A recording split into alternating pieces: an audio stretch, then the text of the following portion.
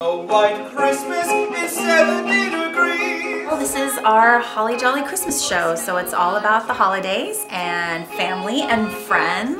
Lots of fun holiday songs and skits and dances. It's like having fun with friends on stage. Yeah, it's very personal. Yeah. It's a perfect show to bring the family to and just have a good time. So we present our gift to you.